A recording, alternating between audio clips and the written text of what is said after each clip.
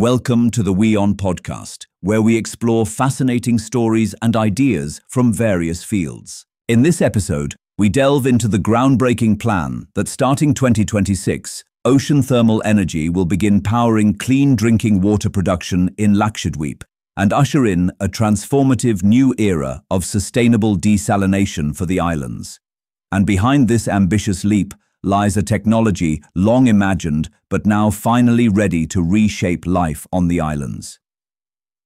The Ocean Thermal Energy Conversion, or OTEC plant, designed and developed by the Indian government's National Institute of Ocean Technology, would commence operations in 2026, delivering clean energy that would help provide clean water.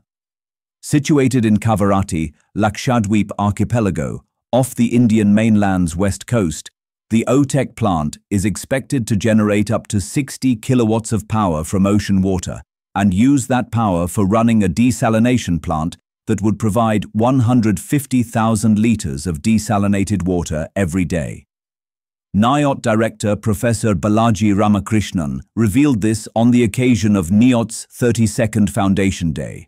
In simple terms, OTEC technology is a means of generating power using the difference in temperature between ocean surface water and ocean water from the depths. In tropical climates, there is a significant difference in temperature between ocean surface water and water extracted from a 1,000 meter depth. With increasing depth, the water gets colder. For operating an OTEC, warm water from the ocean surface is taken in to heat up a special fluid like ammonia, which boils easily. When fluid ammonia boils, it turns into a gas, which is used to spin a turbine, which is connected to a generator that produces electricity. Likewise, cold water from deep in the ocean is pumped to cool the ammonia gas, turning it back into a liquid. This perpetual heating-cooling cycle enables power generation from the OTEC. Because of the endless supply of warm surface water and cold water from the depths, this is a sustainable energy source and it can be used day and night. Multiple desalination plants are operating in Lakshadweep.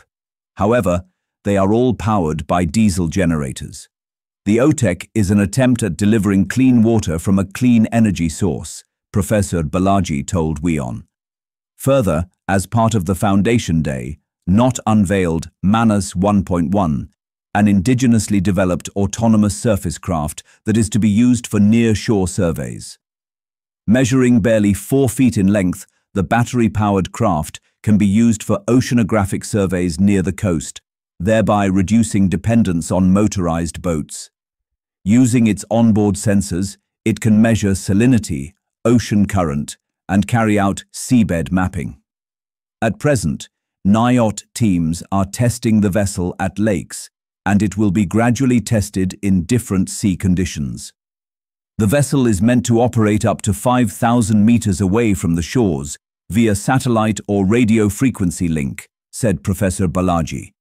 He added that some elements of autonomous underwater navigation technology are also being tested using Manas 1.1.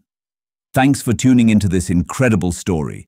If this episode resonated with you, don't forget to hit the like and subscribe button for more captivating stories to come. Stay tuned.